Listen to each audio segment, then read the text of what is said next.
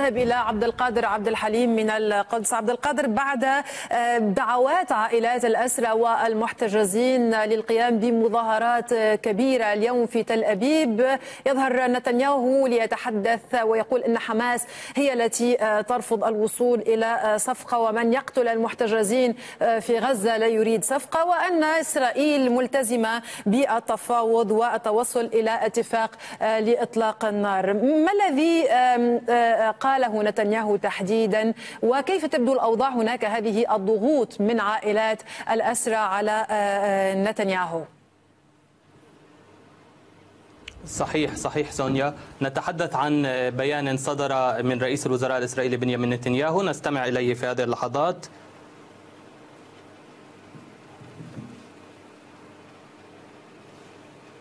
يتوجه بالعزاء إلى عائلات المحتجزين الإسرائيليين ويقول إننا رأينا حماس الحركة القاسية والتي تقوم بأفعال شنيعة. هي ذات الحركة التي قامت في السابع من أكتوبر بهذه الأفعال الشنيعة.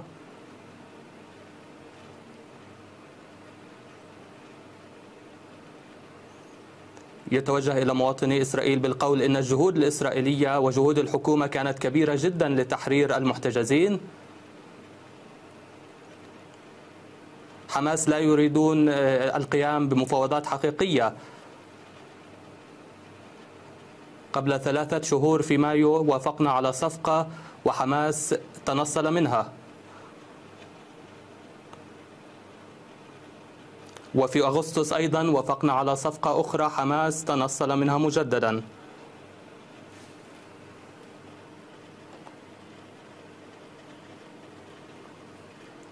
كلما حاولنا التوصل إلى اتفاق حماس تتنصل من هذا الاتفاق.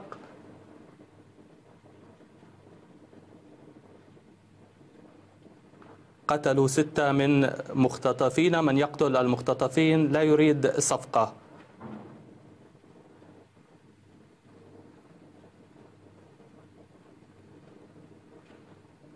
الحكومة الإسرائيلية وأنا بصورة شخصية ملتزمون بالعمل على صفقة تعيد كل المحتجزين. نحن في يوم صعب جدا وقلب الجميع مكسور.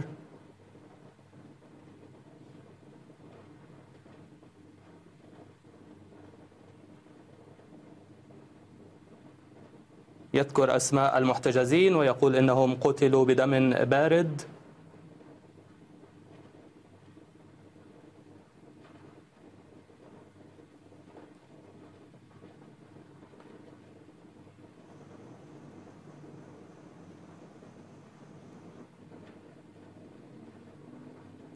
مع بقية الشعب أنا وزوجتي نشترك في العزاء لعائلات المحتجزين الذين قتلوا في غزة.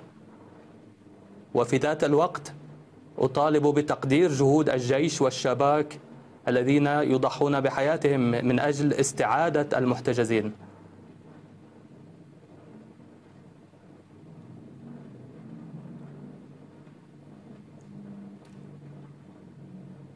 أقول لقادة حماس وللمقاتلين في حماس الذين قتلوا المحتجزين سنلاحقكم ولن نكل من الملاحقة.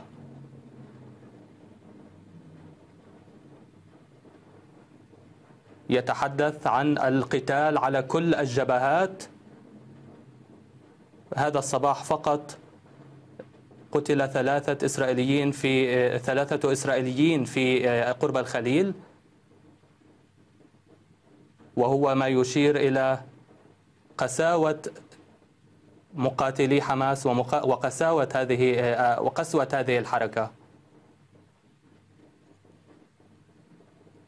ويشير إلى استمرار حماس وفق تعبيره بارتكاب البشائع كما كان في السابع من أكتوبر.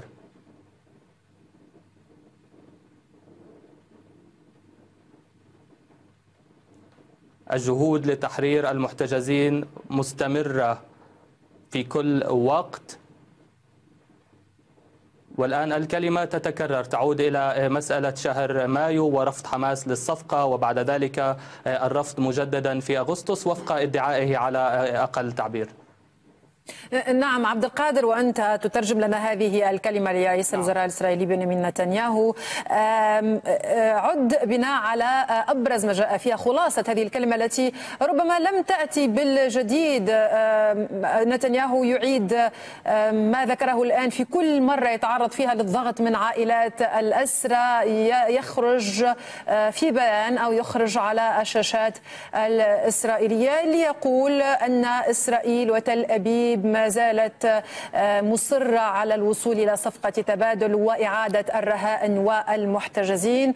ويقول أيضا يتهم بشكل مباشر حركة حماس بأنها آه، هي التي لا ترغب في الوصول إلى آه، صفقة ومواصلة التفاوض. واتهم الحركة بقتل المحتجزين الإسرائيليين في قطاع غزة وقال إن من يقتل المحتجزين لا يريد الوصول إلى صفقة الضغط آه، عبد القادر الذي آه، يفرضه أو تفرضه عائلات الأسرى على بنيامين نتنياهو هل هذه المرة سيكون أكبر مما يؤدي ربما إلى تغيير في موقف نتنياهو أم ككل مرة؟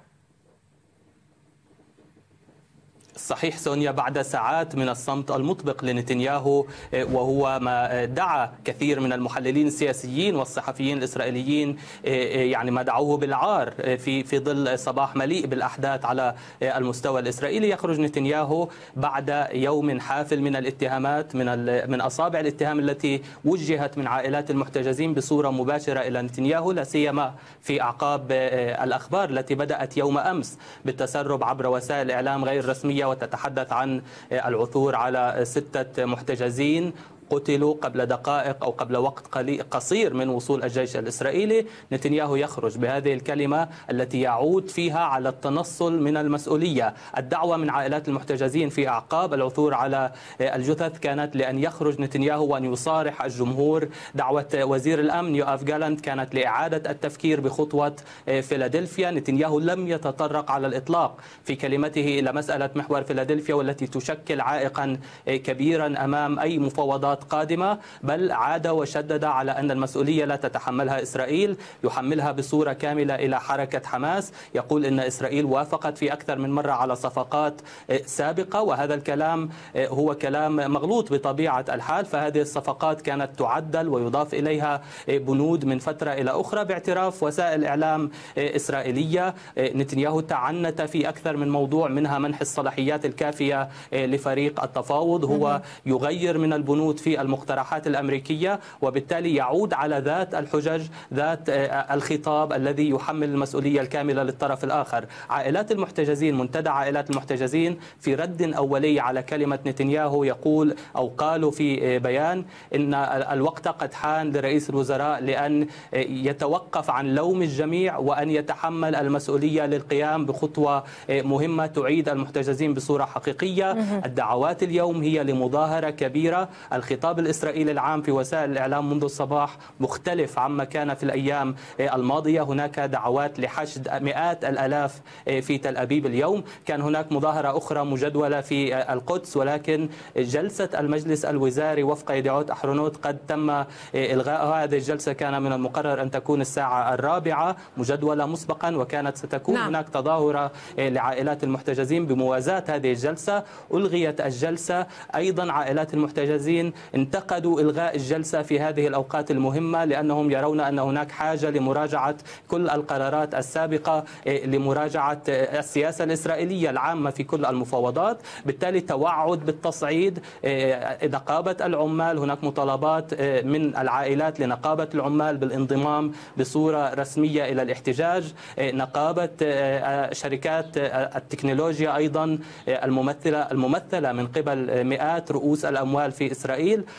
أيضا أعلنت عن دعمها للحركة الاحتجاجية. بيني جانس العضو في العضو في كابينت الحرب السابق يائير لبيد رئيس المعارضة الإسرائيلية كلهم منذ أمس يدعون الناس للمشاركة في هذه الاحتجاجات طيب. وللنزول إلى الشوارع. هناك حالة من التحشيد تختلف عن المرات السابقة. السؤال إذا ما كانت سونيا هذه الحالة ستنعكس فعلا على الشارع الإسرائيلي هذا المساء هنا سيكون الاختبار الحقيقي لكل هذه الجهود. طيب عبد القادر يعود يعود أحرنوت الصحيفة الإسرائيلية. قالت أن ثلاثة من المختطفين الذين قتلوا وأعاد الجيش الإسرائيلي جثامينهم إلى إسرائيل كانوا ضمن قائمة وافقت عليها حماس في الثاني من يوليو. ربما هذا سيؤجج غضب عائلات الأسرى أكثر الذين كان بإمكان عودة أبنائهم أحياء في حال وافقت إسرائيل على القائمة وعلى الصفقة في ذلك الوقت. ما الذي تتناوله وتتداوله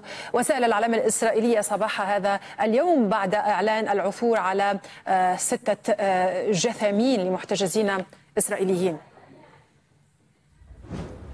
بكل تأكيد وسائل الإعلام تداولت هذه النقطة في إشارة إلى أن مقولة نتنياهو ومقولة الحكومة الإسرائيلية أن الضغط العسكري وحده كفيل بإرجاع المحتجزين هو غير صحيح ولم يثبت نجاحه في أرض المعركة. عمليا الضغط العسكري اليوم أدى إلى مقتل ستة من المحتجزين. فقط في الجلسة الأخيرة للمجلس الوزاري الأمني والسياسي كان هناك حديث عن مسألة الخشية على حياة المحتجزين. رد نتنياهو ورد الوزراء كان أن معظم من قتلوا من المحتجزين قتلوا في النصف الأول من الحرب بمعنى أن النصف الثاني لم يتسبب بقتل الكثير من المحتجزين ولكن هذا يتنافى مع الصورة الحالية. ستة من المحتجزين التقديرات الإسرائيلية تشير أصلا إلى بضعة عشرات فقط ممن بقوا على قيد الحياة وبالتالي حين نتحدث عن مقتل ستة ممن كانوا على قيد الحياة فهذه مسألة كبيرة لدى الشارع الإسرائيلي. نستطيع أن نقول أن وسائل الإعلام وأيضا بمنأى حتى عن حادثة هذا الصباح عاموس هرئيل كان قد كتب في صحيفة هارتس وهو المحلل السياسي أو الكاتب السياسي والمعلق السياسي في هذه الصحيفة أن الضغط العسكري أثبت فشله كسياسة لاستعادة المحتجزين. هذا الضغط العسكري لا يعيد إلا المحتجزين في توابيت يعيدهم جثثا هامدة ولا ينجح حتى اللحظة في استعادة عدد كبير من الأسرى والمحتجزين الإسرائيليين أحياء إلى إسرائيل. بالتالي الانتقادات تتوجه إلى نتنياهو إلى سياسة الحكومة طيلة الفترة الماضية التي أصرت وما زالت حتى في أعقاب هذا الحدث تصر على الضغط نعم. العسكري أكثر من تصريح من مقربو من مقربين من الحكومة الإسرائيلية تحدثوا عن أهمية استمرار العمل والتأكيد على الثناء على الجيش وعلى دور الشباك هذا الجيش وجهاز الشباك وأيضا جهاز المخابرات الذي يفشل حتى اللحظة باستعادة المحتجزين الإسرائيليين على